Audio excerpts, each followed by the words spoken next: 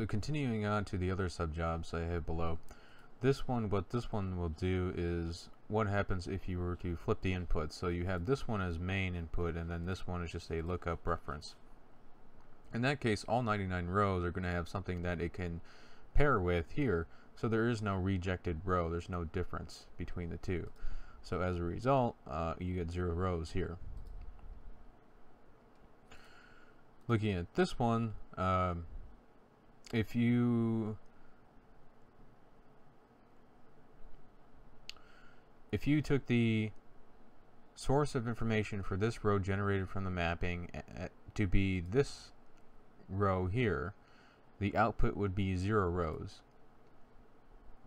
Again, that is because that this is all the rejects between uh, these two um, uh, inputs here.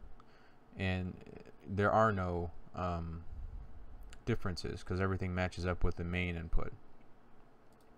So what happens if you were to flip that on its head? Well, in the same case, you would have zero rows. Even though there is one row in difference between these two, all 100 rows here are still the main uh, source information. This is getting the rejected rows. This maps to all 100 here, so there are no rejects uh, in this row here looking at the bottom one, there is another option in the mapping called catch output reject. And I'll show you in a Google, Google Doc what that means.